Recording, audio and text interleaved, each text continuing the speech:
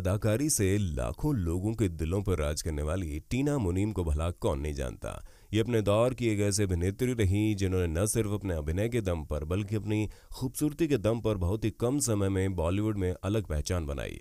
इन्होंने कई फ़िल्में की, जिसके लिए इन्हें आज भी याद किया जाता है। पर शादी के बाद इन्होंने बॉलीवुड से संन्यास ले लिया। इसलिए आज की हमारी इस वीडियो में हम आपको टीना मुनीम के पति से रूबरू करवाएँगे। आखिर कौन है? इनके पति क्या करते हैं? अगर आप भी इनके पति के बारे में जानना चाहते हो तो वीडियो के लास्ट तक बने रहिएगा। चलिए शुरू करते हैं।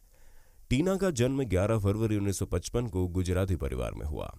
इनका बचपन से ही फिल्मी दुनिया की ओर रुझान था। छोटी सी उम्र में इन्होंने बॉलीवुड में जाने का सपना पाल लिया था, जिसे टीना ने महज 21 साल की उम्र में पूरा भी कर लिया।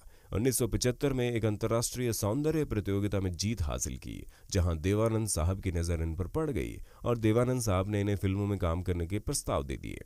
भला कोई देवानंद साहब के प्रस्ताव को कैसे ठुकरा सकता था? बस फिर क्या था, टीना मुनीम ने इस प्रस्ताव को स्वीकार कर लिया, जिसके बाद इन्होंने देश परदेश फ़िल्म में, उन्नीस सौ अठहत्तर में फ़िल्म जगत में अपना पहला कदम रखा। यह फ़िल्म इनके करियर की सफल फ़िल्म साबित हुई। इस फ़िल्म में देवानंद ने उनके साथ हीरो का रोल अदा किया। इन्होंने अपने फिल्मी करियर में कई बड़े मुकाम हासिल किए। इन्होंने कई फ़िल्मों में काम किया, जिसमें लूटमार, मनपसंद, रॉकी, सौतन, कर्ज बातों बातों में बड़े दिल वाला इजाज़त जैसी फ़िल्में शामिल है। टीना को 1975 में फेमिना टीन प्रिंसेस के क्राउन से भी नवाजा गया। ये सिलसिला उन्नीस सौ सत्तासी तक चलता रहा। पर जिस समय टीना अपने करियर के शिखर पर थी, उस समय टीना ने उन्नीस सौ इक्यानवे में बिजनेसमैन अनिल अंबानी से शादी कर ली और शादी के बाद इन्होंने बॉलीवुड से संन्यास ले लिया।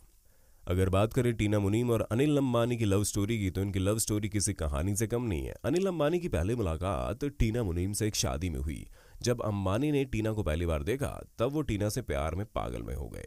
तभी टीना के साथ शादी कराने में बिल्कुल भी तैयार नहीं था, क्योंकि उन्हें टीना का एक्ट्रेस होना पसंद नहीं था, जिसके बाद दोनों अलग हो गए। साल उन्नीस सौ नवासी में अमेरिका में आखिरकार अनिल की जिद के आगे परिवार को हार माननी पड़ी। साल उन्नीस सौ इक्यानवे में दोनों की शादी करवाई गई। टीना ने शादी के बाद बॉलीवुड को अलविदा कह दिया और आज इन दोनों के दो बेटे हैं, जो जाने माने बिजनेसमैन बन चुके हैं। आज टीना अंबानी और अनिल अंबानी बॉलीवुड इंडस्ट्री की खूबसूरत जोड़ी में जाने जाते हैं, जो कई सालों से एक दूसरे के साथ पहले की तरह ही रह रहे हैं। तो दोस्तों, आपको अनिल अंबानी और टीना अंबानी की जोड़ी कैसी लगी, आप हमें कमेंट करके ज़रूर बताइए। साथ ही बॉलीवुड इंडस्ट्री से जुड़ी ऐसी खबरों को जानने के लिए हमारे चैनल को सब्सक्राइब अभी कर दीजिए।